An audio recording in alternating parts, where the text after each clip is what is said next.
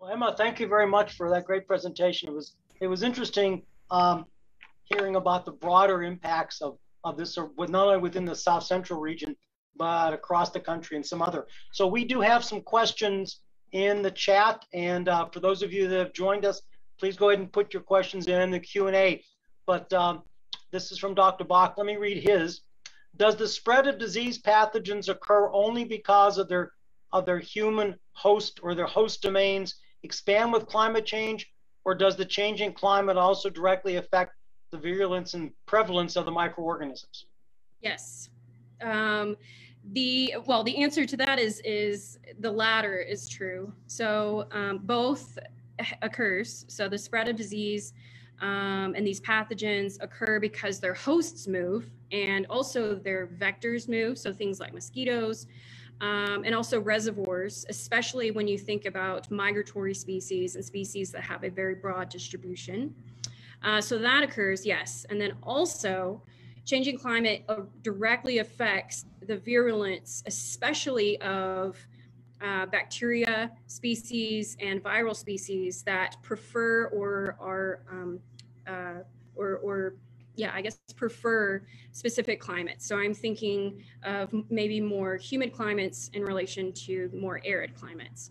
Um, uh, so yes, the answer is both. Both of those are going to affect the spread of zoonoses into different habitats. Okay, very good. Thanks much. So our next question is, um, from your experience of what's been published in the literature, are different groups of mammals more likely to cause problems than others in terms of this question? Yes. Um, so I, what I've seen is that especially organisms that um, come in closer contact with humans. So of course the peri-domestic species, uh, things like raccoons and, and badgers and um, you know coyotes, pigs, things like that or not pigs, but um, and then you also have the close association with agricultural species. So wild sheep coming into close contact with domesticated sheep. Um, and then just species that have, you know, that come in close, um, in close proximity with areas that have a higher concentration of, of humans. Uh, I think that also any animal species that are really prevalent in sort of those global hotspots that we talked about, um, animals that are generalists and can live in different areas uh, versus specialists that stay in one particular area or occupy one specific niche. Um, I think that those individuals, and and I'm not sure, you know, if carnivores versus rodents versus bats. I know that a lot of rodents and a lot of bats and a lot of carnivores uh, do uh, exhibit kind of a high prevalence of zoonoses, but I, am not quite sure as far as one particular group of, of animals. Okay. Okay. Yeah, that's going to be the follow up to, to, to, to the question because, you know, from my experience as a microbiologist, it, it, it seems that rodents are most likely to be because they're small, we don't pay attention to them. And I'm thinking of hantavirus, for example, is being one of those breakout kinds of, of situations. So, you know, from, from your experience, I mean, a lot of people work, uh, track small mammals, particularly the rodents around the world. Is that something that's, is that, is that some aspect of, of this problem that more people are interested in, you yes. know, than, than, than say raccoons or possums? Right, right. I think that um, it, it sometimes it's easier to to look at more of the sentinel species, which would be something like a raccoon or an opossum or or coyote, something like that. But I think that it is important, not just because I work for Dr. Bradley.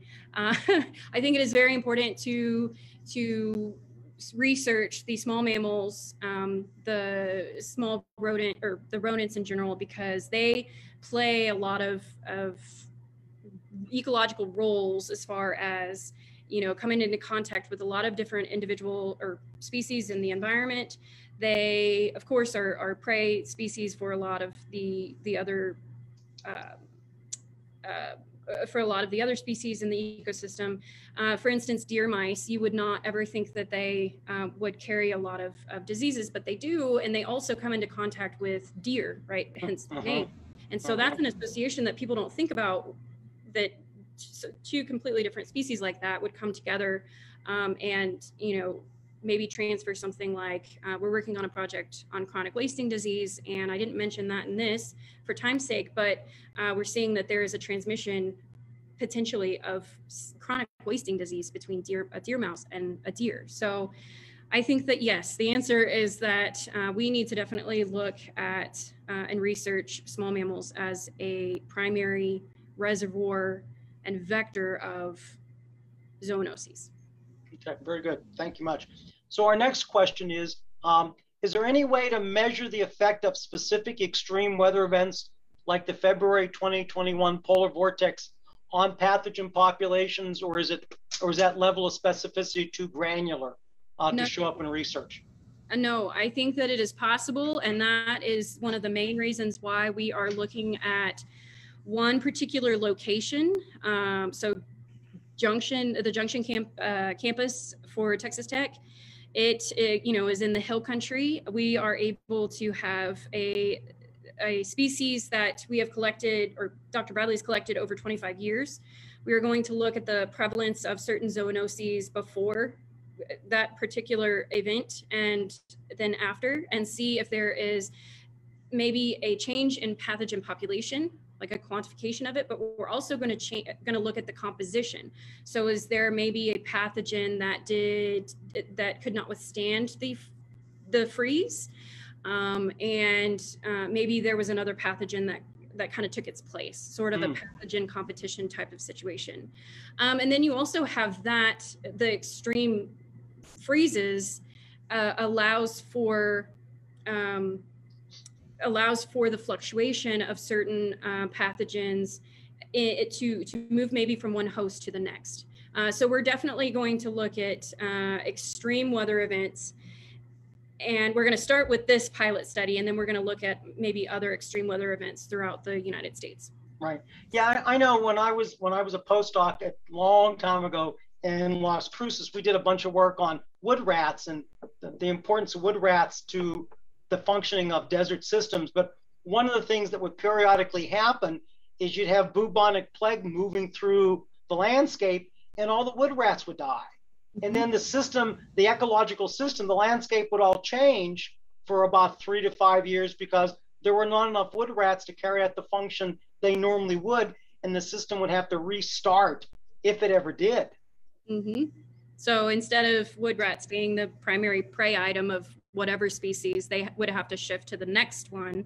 Right. Uh, you know, the next one. So, th- so there's multiple facets of of wildlife health and how climate impacts those species and and so that's why we're trying to kind of start these pilot projects because there's so many different layers to the story so that if we can if we can be a little bit more specific and look at this specific system then maybe it can be a model for you know maybe that system where certain prey species are wiped out and and that sort of a thing. Very good. No fair thanks. So we have a couple questions in the q&a so let me go ahead and read the, and read start with the first one.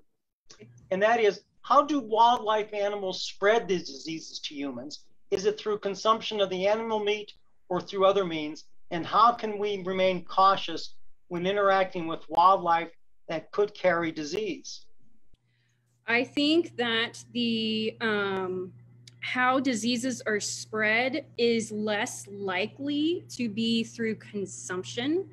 I think that more oftentimes what happens is with direct contact with their bodily fluids or with something that they have touched or been around. Um, for instance, with certain rodent species, you may not realize, but certain areas, you know, of your home, you know, or, or maybe not your home, but like a, you know, some building that you come into contact with, things like that, that you don't necessarily think. Um, and especially with things like hantavirus, you don't think about their urine, their feces can carry that, and you pick it up, and you don't necessarily realize it, you know, in in the air. Um, so I think I know that that is more oftentimes how humans are infected with that particular pathogen. It's not necessarily because of ingestion of of their of them.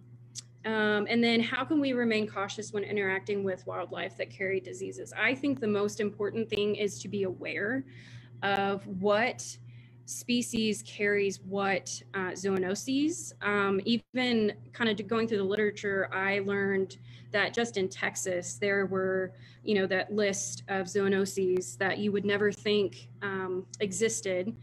And there is an increase in certain years and there's a decrease in certain years. So you start to think why is that? And maybe there's some sort of you know environmental fluctuation. But i think the best thing that we can do is be aware that um, certain bats can carry rabies and certain rodents can carry hantaviruses. I think that's the most important thing.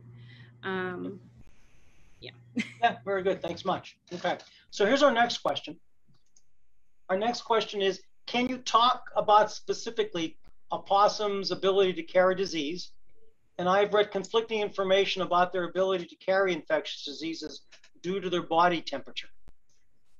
That is a great question. I've heard conflicting information as well about whether or not opossums carry a high zoonotic load. Um, a lot of people tend to think that opossums are um, for lack of a better word, nasty creatures and they're dirty and they and they carry all of these zoonoses. But I've also read that they that in fact other species like raccoons and coyotes are a little bit um, you know they have they carry more a higher zoonotic load. I have no idea about uh, a possum's body temperature and how that affects their ability to carry infectious diseases. If I were to think about that for a second, I think that any animal species that typically has a higher body temperature would not be able to have as high of a zoonotic load just because temperature is one of the key ways that we fight off infections uh, specifically of uh, you know things like bacteria and viruses. So and that's why we have fevers and our body does that um, quite well. So i'm not quite sure the answer to that question. Okay. No but thanks. Okay. Here's our next one. In from your from your perspective, are there?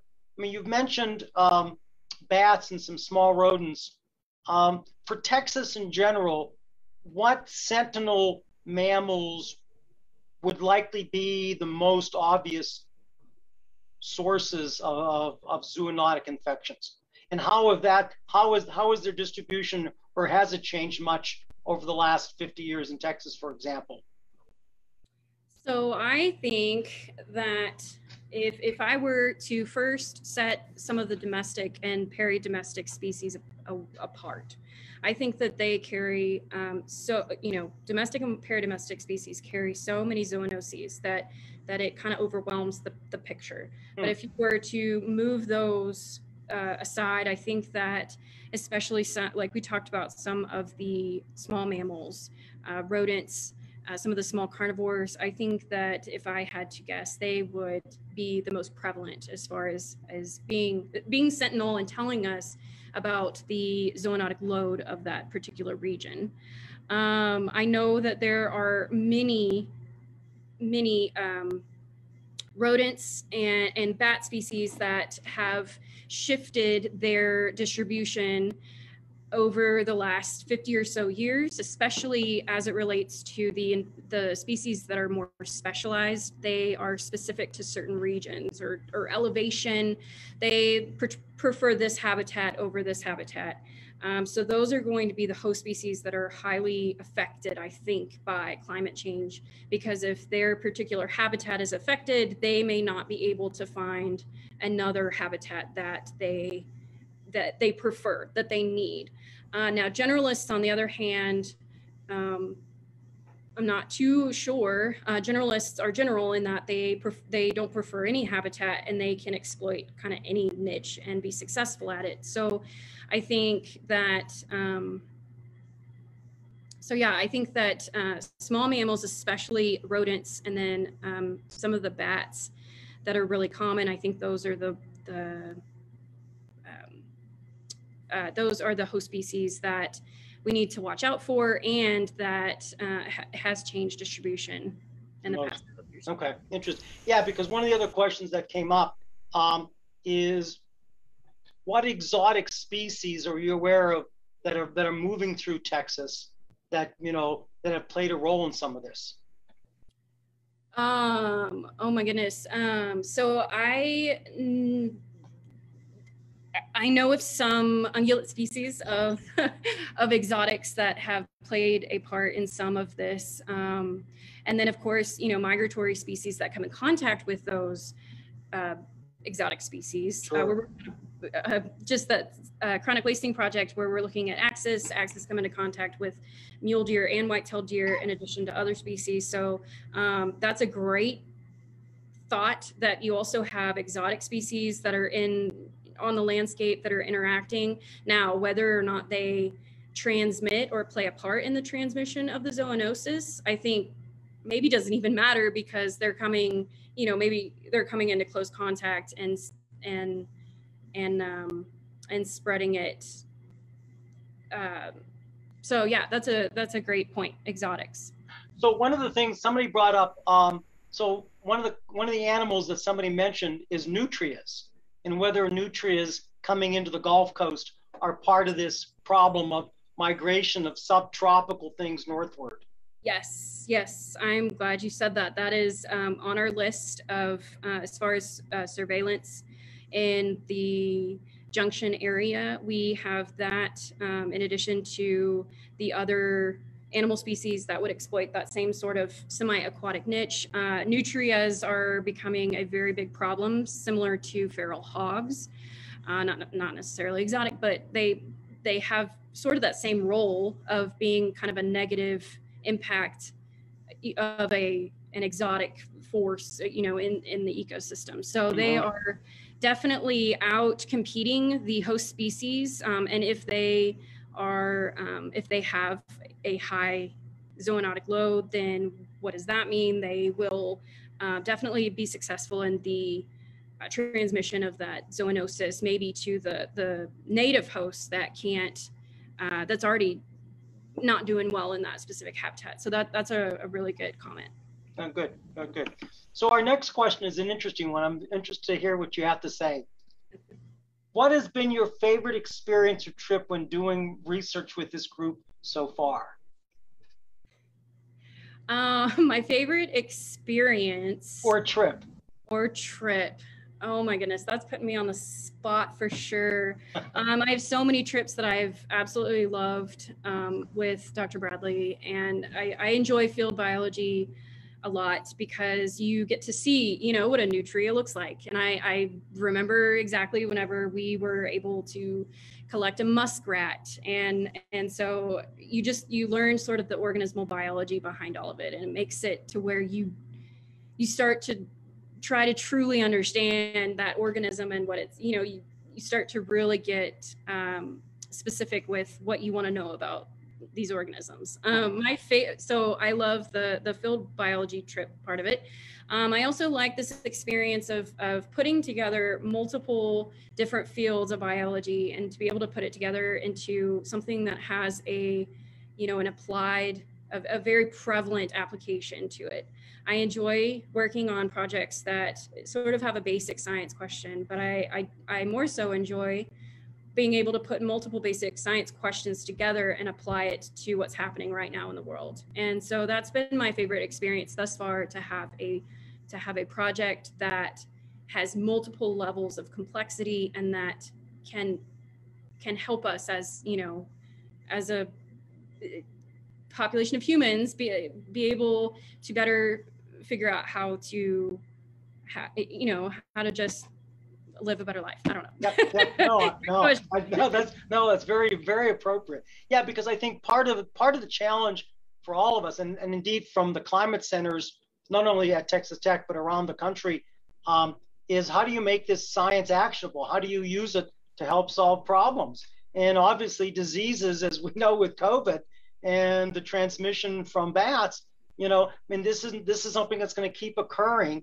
And you know, I mean, I've you know, I've, I'm old enough now that I've lived through what five pandemics in my lifetime so far. You know, polio was the first. I'm old enough to have dealt with polio pandemic in the U.S. at that time. So, you know, this I see this kind of information as really being relevant to help solve these kinds of problems because we don't we don't approach it from from this collective ecological perspective. Right, right. And getting eco- ecologists and evolutionary biologists together is very important.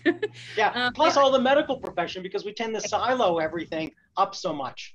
Yes, getting the human health aspect into it as well. I agree with that. Yeah, um, yeah. I also want to add that um, something that has become very, um, very prevalent in what I've learned in the literature is um, that, you know, we said with with SARS-CoV-2 that the primary um, host or vector, whatever, was bats, and and so they, you know, as a population, we immediately looked at all of this, you know, bat, all of the bat information uh, but now people have been looking at other species that have come in contact with bats, and they found that there are plenty of um, different reservoirs and hosts or vectors, sorry, of COVID, uh, SARS-CoV-2. So including things like um, deer mice and of course the pangolins. And so I think that that is probably the most important part that I don't want to I want to make sure that we get the whole picture and that we don't miss a key a key part in some of these transmission events. Yeah, very good. Okay. So we have another question on the uh, chat. The map that you showed um, shows invasive species or pathogens moving south from Mexico um, up to the US, which can amplify anti-immigrant rhetoric. Do you, the arrows always go the other way or are there movement from North America to South America?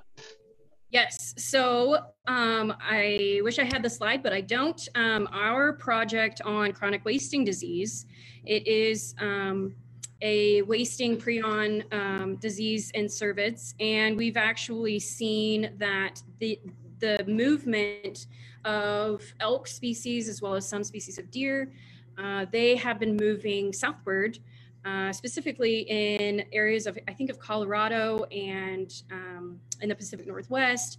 There have been certain uh, movements of those species southward um, into, and, and whether or not whether or not that's because of um, how extreme the winters are, or um, you know maybe they're not finding the resources that they need, then or or you know we're we're still people are still trying to figure out that answer, but we are seeing certain uh, diseases, not necessarily zoonoses. I don't think CWD, I know CWD has not entered the human population yet, but that's one instance where I, I know that it does happen in the opposite direction. Uh, mm. but a lot of these zoonoses are, are the, the higher incidence rate is coming from the, the region of the tropics and subtropics where it's too hot, where it's too human, humid, and they are moving northward in addition to uh, human population changes.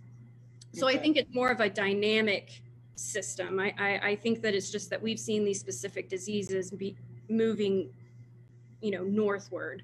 Right. But again, that's I don't think that's the whole part of the story. It's just the trend that we're seeing right now. Yeah, because obviously as climate shifts or has shifted previously over the last 50,000 years, like I said, those those movements are going to be dynamic depending upon what the climate's doing, what the right. optimum habitats are. Right. And it, it could be just that we're seeing right now a snapshot of time where they're moving northward, but maybe we, we just haven't been able to document the shift in reverse, you know, that's mm-hmm. happened at another time, you know, yeah. an evolutionary time. Yeah, very good. That's a good question. Well, here's our next question, and it's an interesting one. Because of the high urban uh, component in central and east Texas, are they more likely to see these kinds of interactions before we will in Lubbock? Uh, if I had to guess, I would say yes. Uh, I would say that um, the, I mean, it has to do with obviously urbanization and the high, high population size of, of that particular group. Um, I think that they would probably see a, a, a larger uh, incidence of some of these zoonoses um, rather than Lubbock. I know Lubbock is a lot drier, but but again, you have certain zoonoses that prefer different habitat types and different temperatures, precipitation. There's all these ecological variables um, that affect the survivability and transmission rate of mm-hmm. zoonosis. So I would say yes, but I, I'm not quite sure what exactly um, what pathogens you're going to see in different parts of Texas. So that's why we're looking at all of the different ecoregions of Texas. We want to not just say these are the Texan zoonoses. We're trying to look at and distinguish each of them. Even the Trans-Pecos, you have sort of the, the dry Trans-Pecos area, um, and then you have more of a wet Trans-Pecos area. Yeah, so right. we're trying to look at the different uh, Yeah. regions. Okay.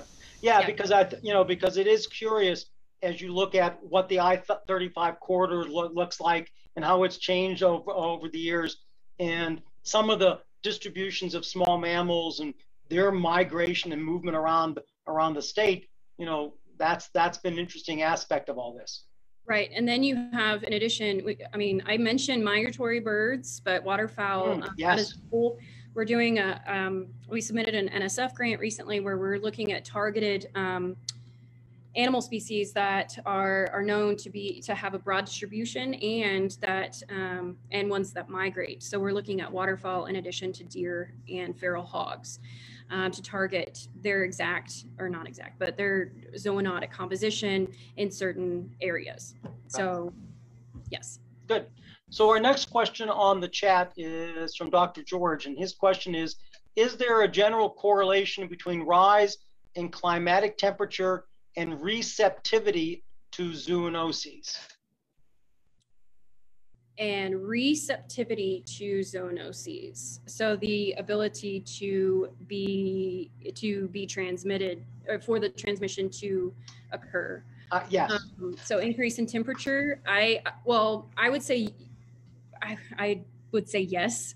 Um, I know, especially for some of the flu or, or viral infections, I know that there has been shown to be a higher correlation or a correlation between a higher temperature and for a, spe- a species to become infected with a certain pathogen and then going a step further having the infection be from one species to another.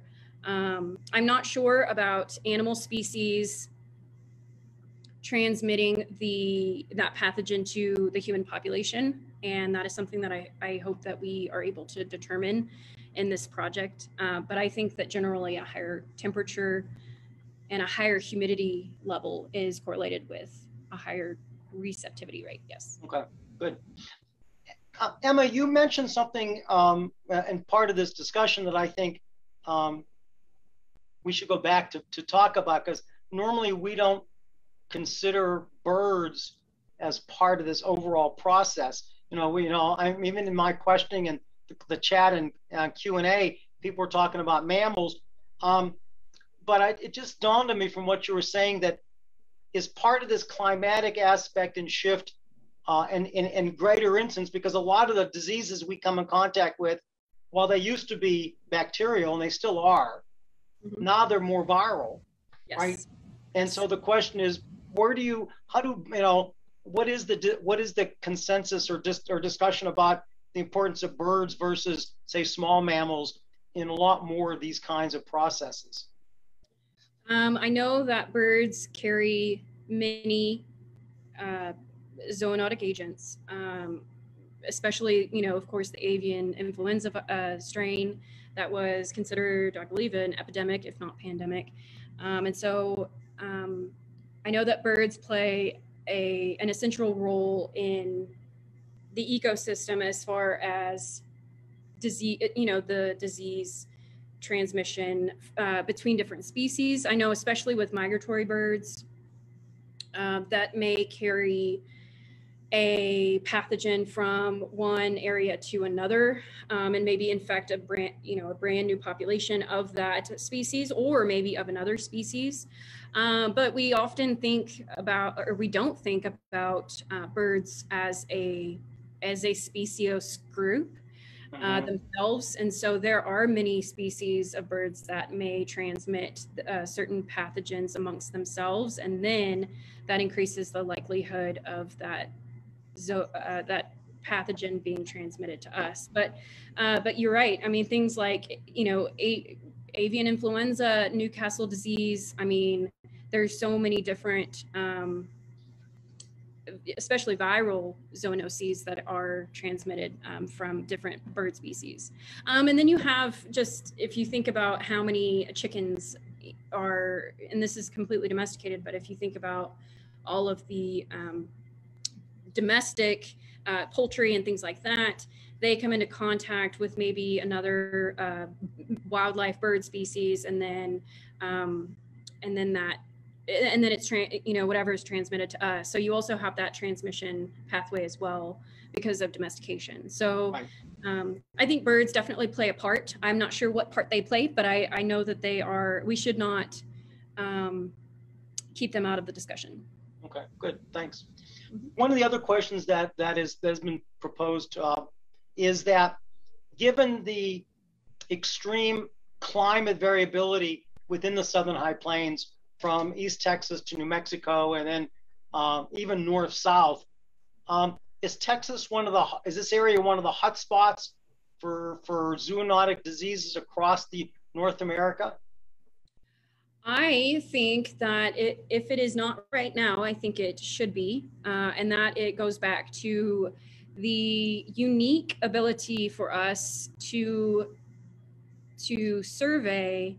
I think it's 10, eight, eight ecoregions mm-hmm. that are completely different. Um, at some some are a little bit uh, more similar than others, but I mean that you have so many different um, ecoregions that you can look at that have completely different characteristics um, versus you know others. So yeah. for instance, in the Panhandle versus you know where I grew up in Houston on the coast, uh, you have sort of the East Texas region, you have the Hill Country, the different you know Trans Pecos. You've just got a very diverse um, set of habitats that you can target. So I think that if you're looking in that frame of reference, I think it is a global hot or a hotspot. I think that, um, and we'll be able to definitely determine where those hotspots are uh, within Texas based on being able to survey the whole region.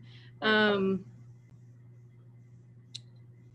yeah, so I think that Texas is a unique opportunity for us to look at um, the, you know this broad survey of zoonoses in the area, and then any regions in the rest of you know maybe the air the region of the United States or or in other areas, we can use Texas maybe as a model uh, for those ecoregions that match up with the ones you know in Texas. Okay, good. Well, we have time for a few more questions, and one of the things that was raised is um, I believe in when you were doing your presentation in terms of um, long data sets, you had Junction as your as your um, example in terms of the work that Dr. Bradley did. Um, I guess the the the, the if I'm I'm sort of paraphrasing the the question from from the person, um, how unique or how generalized would is is the Junction data set compared to the rest of Texas?